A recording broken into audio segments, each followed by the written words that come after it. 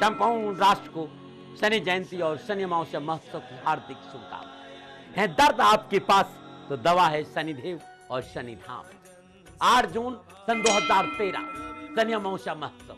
करी शनि भगवान के दर्शन, पूजन, तेलाभिषेक संपूर्ण कष्टों से छुटकारा श्री शनि धाम शनि तीर्थ स्थित असोला फतेहपुर बेरी में आपका स्वागत है। नमो नारायण।